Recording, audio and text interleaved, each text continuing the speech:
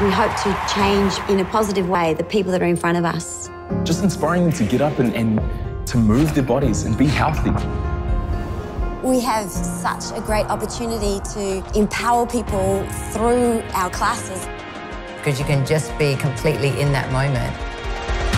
So to be a leader, I believe we have to be authentic.